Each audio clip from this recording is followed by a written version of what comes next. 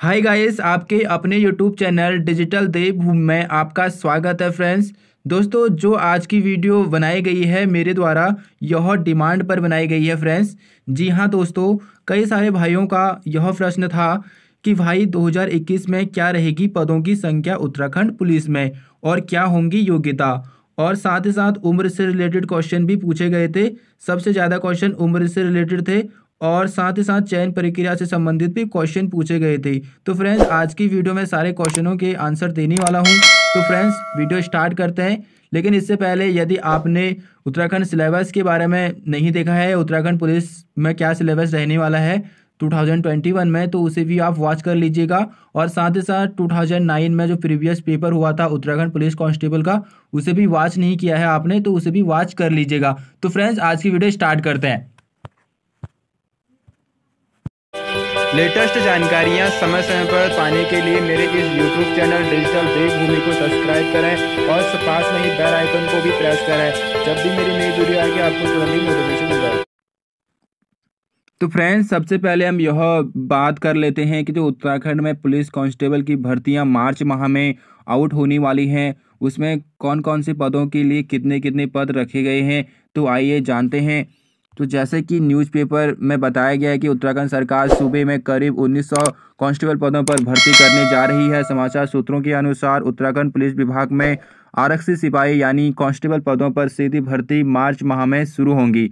जी हाँ फ्रेंड्स, मार्च माह में आउट होने वाला है उत्तराखंड पुलिस भर्ती का नोटिफिकेशन सरकार ने इस भर्ती में, जी हाँ फ्रेंड्स, जो मार्च माह में इस बार भर्ती होने वाली है, उसमें महिलाओं का प्रतिनिधित्व बढ़ाने का निर्णय लिया गया है, जी हाँ फ्रेंड्स, जो कि महिलाओं के लिए या फीमेल कैटेगरी के लिए एक प्लस पॉइंट है, जैसे कि न्यूज़पेपर में बताया गया जैसे कि यहाँ पर आप देख पा, देख रहे हैं कि स्थानीय न्यूज़पेपर की एक कटिंग है, जिसमें बताया गया है कि जो उत्तराखंड में जो पुलिस की भर्तियाँ होंगी, मार्च में होंगी, और इसमें जो टोटल पद बताए गए हैं फ्रेंड्स सिपाही पुलिस के वह उन्नीस सौ हैं। और साथ ही साथ इसमें जो हेड कांस्टेबल के पद रखे गए हैं, वह सात सौ रखे गए हैं और उप निरीक्षक के सिक्सटी पद रखे गए हैं। जी हाँ फ्रेंड्स अब बात कर रहे हैं कि इस बार जो भर्ती कराएगा, वह किसके द्वारा कराया जाएगा? तो आइए आगे देखते हैं।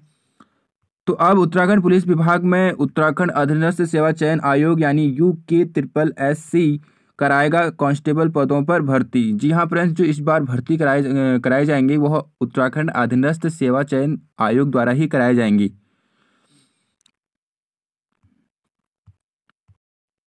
तो जैसे कि आप न्यूज़पेपर के कटिंग के माध्यम से भी देख रहे हैं कि अधीनस्थ सेवा चयन आयोग से पुलिस भर्ती की तैयारी। जी हाँ फ्रेंड्स, इस बार जो भर्ती होंगी, वह अधीनस्थ सेवा चयन आयोग द्वारा ही कराई जाएँगी।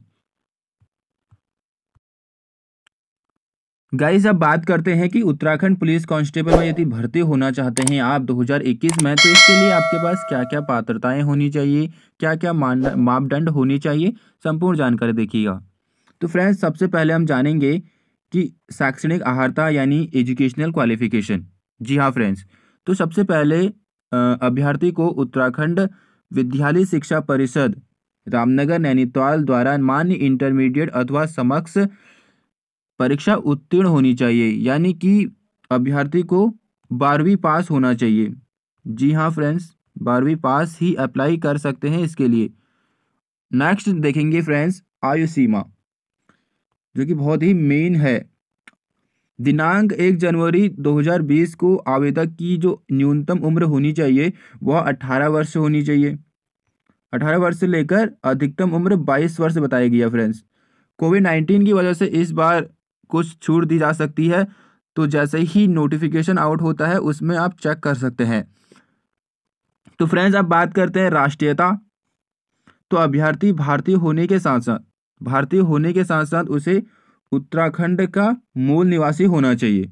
जी हाँ फ्रेंड्स अब बात करते हैं कि चयन प्रक्रिया इसमें किस बेस पर होने वाला है। तो फ्रेंड्स इस उत्तराखंड पुलिस कांस्टेबल या आरक्षण भर्ती 2021 के लिए अभ्यर्थी का चयन। शारीरिक मानक टेस्ट यानी पीएसटी शारीरिक दक्षता परीक्षा, टेस्ट और लिखित परीक्षा के आधार पर ही किया जाएगा। जी हाँ फ्रेंड्स, तीन चरण आपको पार करने होंगे।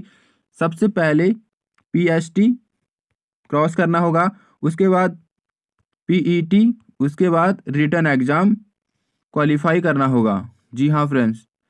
उसके बाद ही आपका सिलेक्शन हो जाएगा। अब बात करते हैं आवेदन शुल्क की। तो सभी आवेदकों को निर्धारित आवेदन शुल्क का भुगतान ऑनलाइन मोड में करना होगा और ऑनलाइन शुल्क अभी तक बताया नहीं गया है ऑफिशियल पर। तो जैसे ही बताया जाता है तो इससे संबंधित वीडियो मैं अपने इस चैनल पर डाल दूँगा तो चैनल को सब्सक्राइब भी कर लीजिएगा। तो फ्रेंड्स जैसे ही नोटिफिकेशन आउट होता है तो आप किस वेबसाइट पर जाकर ऑनलाइन आवेदन करोगे? तो इसके लिए वेबसाइट है Uttarakhand police UK dot G O V dot in जी हाँ फ्रेंड्स इस वेबसाइट पर जाकर आप ऑनलाइन आवेदन कर सकते हैं। तो फ्रेंड्स आज की वीडियो में बस इतना ही। मिलते हैं नेक्स्ट वीडियो में। जैसे ही नोटिफिकेशन आउट होता है उत्तराखंड पुलिस का तो आपको जल्द ही इससे संबंधित वीडियो मिल जाएगा। तो चैनल को सब्सक्राइब कर